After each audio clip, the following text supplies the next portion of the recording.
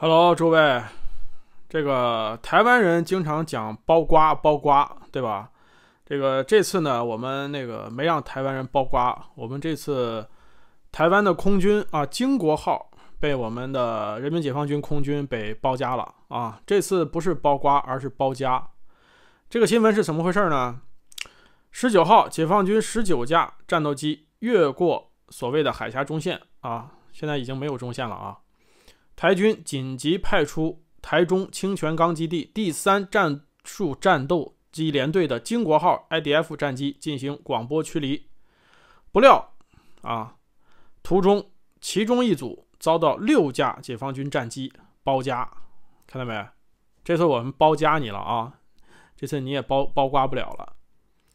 这个台中方向啊，应该是歼十或者歼十一战机，但是台湾媒体认为。这次是歼十六战机啊，六架歼十六战机包夹了台湾空军的上来驱离共军空军的 IDF 金国号，搞笑了吧？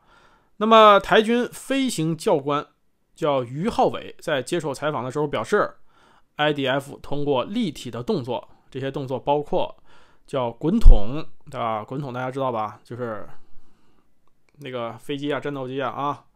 从上到下是吧？露肚皮，然后再翻过来啊，三百六十度。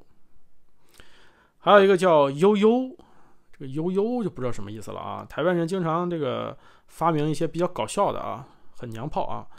通过悠悠来变动变化这个动位能。这位教官认为，处于中空，大概在五千米左右的解放军军机，是为了摆脱台军。这个地面导弹部队才采用了包夹 IDF 的动作，因为台军的地面导弹部队在解放军军机与台机这个近距离接触时，不敢开火啊，避免炸弹这个碎片伤及自己的飞机。不过于浩伟也认为，台军动用了待命的飞机来进行紧急升空，来做了一个战力的衔接。这就搞笑了，对吧？这非常搞笑。他说，这个解放军之所以有六架战斗机包夹了这个 IDF 金国号，是因为解放军害怕台湾的这个地空导弹部队发射地空导弹啊，打解放军的战机，所以解放军战机呢就把这个台湾的这个金国号啊夹在中间。那意思就是说，你打吧，对不对？你打我，你就有可能也打到这个金国号，对不对？你自己看着办。牛逼啊！台湾这个空军教官这个脑回路还是很厉害的啊！他把这个自己被包夹这件事儿说成是解放军空军害怕台湾的地空导弹部队啊！所以你看，人台湾人这种这种就是硬凹的这种思路啊，这个还是值得我们学习的，知道吧？就是什么情况下，不管什么情况下，不管是自己这个优势也好，劣势也好，最后自己哎怎么一转，最后呢都得把自己转成台湾台湾 number one。啊，呃，那么对于 IDF 被包夹一事，目前台军没有否认，啊，没有否认，没有否认就等于承认了嘛，对吧？默认了嘛，起码是，仅表示涉及军事不予置评。呃，自二月二自二月十八号开始，台湾亲绿媒体突然爆料啊，二月十号，也就是说大半年前，解放军歼十一战机。越过海峡中线后，一度开启火控雷达，锁定台军 F 十六战机。对于解放军锁定 F 十六一事，解放台军方面先是矢口否认，后来又改口说确有此事。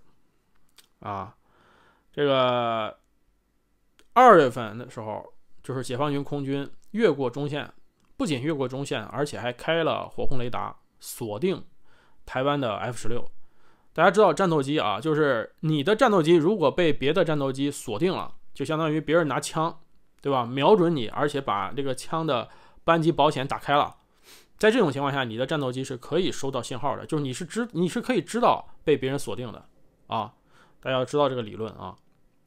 所以说，台湾空军呢刚开始这个否认，后来又承认啊，承认自己孬啊，承认自己怂。呃，目前啊，这个台湾。空军花莲基地第五战斗机联队从早上七点到十一点，连续紧急升空三次之多，创下花莲第五联队成军以来最多的记录。这个花莲基地除了警戒机及预备机以外，全部升空啊，说白了就是把这个家底儿都搬出来了。地面还不断有其他 F 十六战机替补待命，整个基地相当忙碌啊。看到没有？如果这个人民解放军空军每天按照按照大概二十架，不是架次啊，按照二十架这个战斗机也好，或者是轰炸机也好，啊，这个数量越过海峡中线，冲着这个台湾岛本岛飞的话，要不了多久，台湾空军就掏空了，就掏空了啊！这个无论是人员，还是无论是这个他们这个这个地面的后勤部队，包括战斗机的养护，他都顾不过来了。因为战斗机升空对于战斗机的这个呃发动机寿命影响是很大的，发动机寿命一般只有几千个小时啊就要更换了。那么台湾的空军呃装备自己是造不出来的，除了他那个所谓的金国号 IDF，那个是他妈好几十年前的老掉牙的飞机，那个也是仿造早最早期的 F 十六 A 啊那个型号设计制造的。那个年代啊二三十年前 IDF 还是挺牛逼的。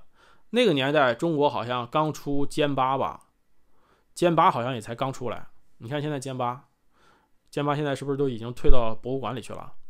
啊，台湾 I 那个 IDF 还在天空上飞呢。所以啊，除了 IDF，其他的台湾空军的装备，包括幻影，包括 F 十六，啊，这些乱七八糟的，都是早期型号，而且它的后勤保障一直是成问题。那个幻影基本上属于那种就是呃摔一架少一架这种状态了。所以，啊，就像我说的，如果说保持这种高强度，解放军空军高强度的去骚扰台湾空军的话，要不了多久，台湾空军就，就就就就空心化了，啊，就没有战斗机可飞了。到时候，这个飞行员也受不了啊，对不对？飞行员也受不了，一天升空三次，对吧？你一天三班倒啊，飞行员的工作可是高强度，是需要这个。呃，这个精神面对的精神压力也好，或者说这个体能压力也好，那是相当强的啊。那可比在这是吧地里收麦子呀，或者在钢厂炼钢啊，那个比比那还累，知道吧？而且升空一次，上次我不是跟大家说过吗？升空一次，台湾自己的统计，一架战斗机升空一次就是几十万新台币。你算算，你这一天如果说解放军来二十架，你也升空二十架，几十万乘以二十，啊，几百万新台币就没了，一天。啊，一天就烧几百万，甚至上千万的新台币这样烧，你觉得台湾空军能烧多久？能烧多久？再加上它这个战机的寿命，再加上这个飞机的飞行飞机的这个飞行员，对吧？这个不堪重负，到时候哎，要不了多久啊，要不了多久，没准这个台湾这个空军也好，或者说其他的这个军种内部也好，受不了这个压力，没准哗变都有可能，知道吧？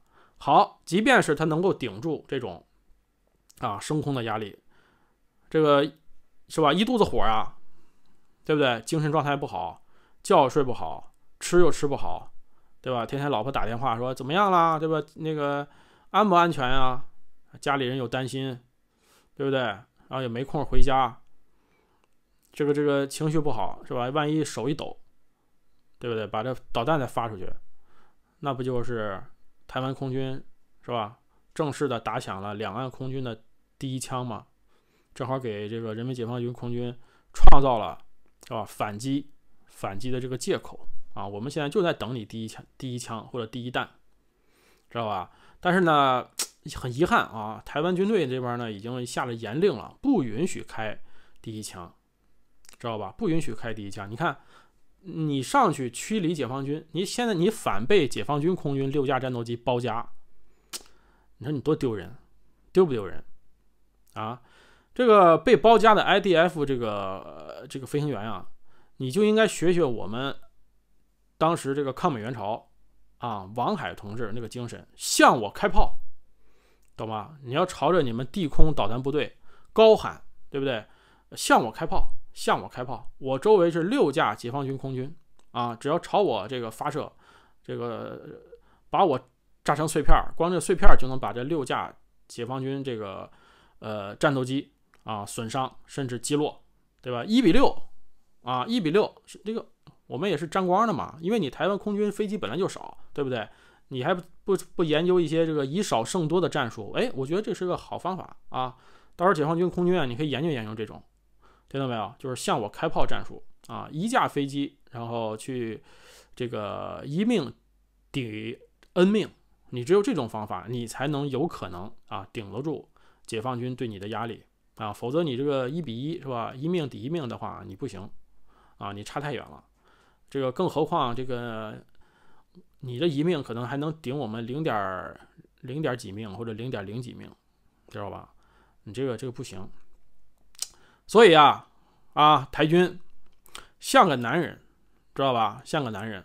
呃，这个我们天天几十架战斗机飞到你们头顶上啊，在这种情况下你们都能忍啊？你也是够够他妈怂的啊！你既然已经是那个号称是吧？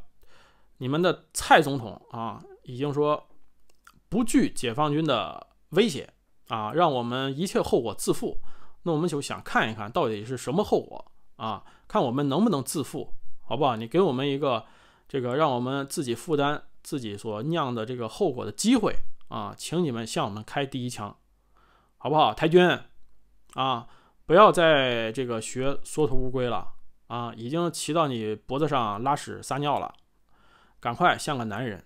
啊，我知道现在虽然说这个台湾军队啊，这个也没有这个叫什么，他现在属于是那个四个月是吧？四个月就这个当兵这个周期就结束了，所以也挺神奇啊，也挺神奇。但是我相信空军不可能有这么短的这个呃军旅生涯啊，否则这个连战斗机都还没学会呢就该退役了，我操，这个就是太搞笑了啊！